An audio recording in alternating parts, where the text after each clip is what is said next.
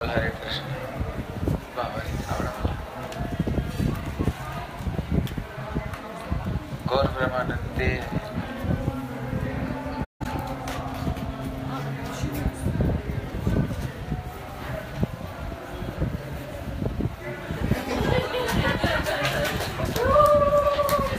हरि बोल, हरे कृष्ण। और आज हम लोग श्रवण कर रहे थे।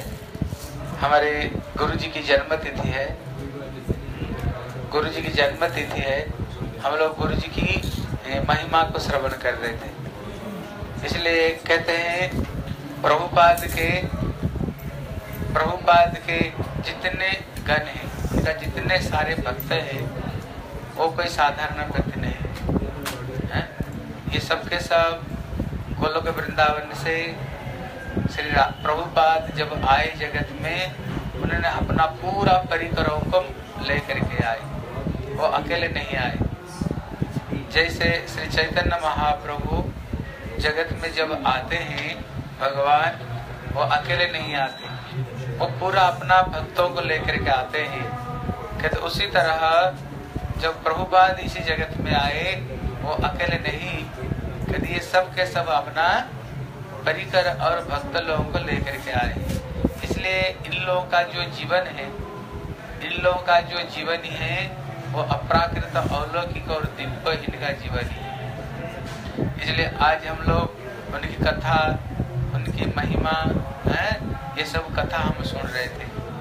इसलिए मेरे जो गुरु जी है, उन्होंने एक चीज़ को शिक्षा दिया, जब प्रभुपाद का समय पर ये ब्रजमंडल परिक्रमा होता था। और वो जो ब्रजमंडल परिक्रमा, जहाँ हम बैठे हैं यहीं पर तांबू गाड़ करके टेंट यहीं पर गाड़ करके, यहीं पर ही, है, यहीं पर ब्रजमंडल परिक्रमा यहीं पर रुकता था। जो मेरे गुरुदेव थे, वो विशेष करके एक चीज़ की शिक्षा दिया, वैष्णव सेवा करनी चाहिए। जब परिक्रमा सबके सब चले जाते थे, हमारे गुरुदेव रह करके वो लोग क्या प्रसाद पाएँगे? कहाँ पर रहेंगे? हैं? और वो आने का बाद उनके लिए प्रसाद कैसे तैयारी रहनी चाहिए? हैं? तैयारी रहनी चाहिए। अगर किसको, किसी गर्म पानी का ज़रूरत है, फिर गर्म पानी करके उनको देना। उनको कहाँ रुकेंगे? वहाँ व्यवस्था करना। इसलिए मेरे गुरुदेव, विशेष करके वैष्णव सेवा करते थे।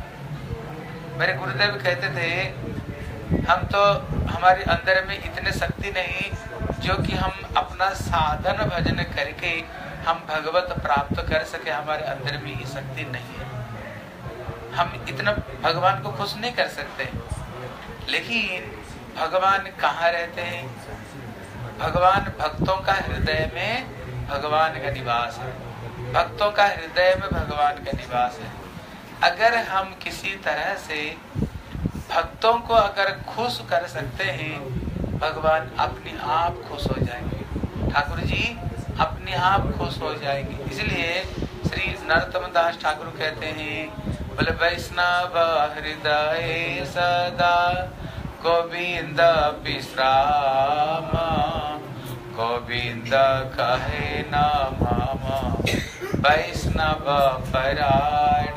इसलिए नरोत्तम दास ठाकुर कहते, भगवान कहाँ रहते हैं? बोले, भक्तों का हृदय में ही भगवान निवास करते हैं। है? जब हम भक्तों को हम प्रसन्न कर देते हैं, जब भक्त खुश हो जाते हैं, भगवान अपने आप भगवान खुश हो जाते हैं। फिर अलग रूप में उनको खुश करने का कोई ज़रूरत नहीं। इसलिए मेरे गुरुदेव, क्या करते थे? मेरे गुरुदेव, वैष्णव लोगों को खुश करने के लिए कोशिश करते थे। भक्त लोग खुश हो गए तो बस भगवान अपने आप खुश हो जाता है। इसलिए हमारे गुरुदेव ये शिक्षा दिया करते थे। प्रसन्न करना तो भक्तों को प्रसन्न करो। और हमारे गुरुदेव उनका जो दूसरी जो शिक्षा थी इधर आ जाओ अंदर में कहते उनका जो दूसरा जो शिक्षा थी है, है? कहते उनका जो दूसरा जो शिक्षा थी है, है गुरुदेव उनका अंदर में जो गुरु जी का प्रति जो निष्ठा है, है? कहते गुरु जी का प्रति इनका जो निष्ठा बड़ी दृढ़ निष्ठा था। इसलिए हम सवेरे सुन रहे थे हम सवेरे सुन रहे थे गुरुदेव जैसे हम लोग हरे कृष्ण हरे कृष्ण कृष्ण कृष्ण हरे हरे हरे राम हरे राम राम राम हरे हरे। जैसे हम लोग ये हरे कृष्ण महामंत्र को जप करते हैं उसी तरह जो प्रभु बात प्रभु जी अंदर में आ जाओ इधर आ जाओ। तुम तो एक एक एक आ टुके जाओ।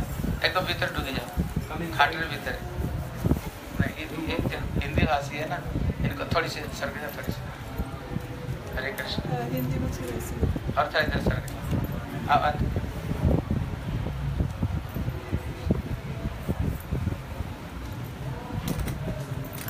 यहाँ बैठिए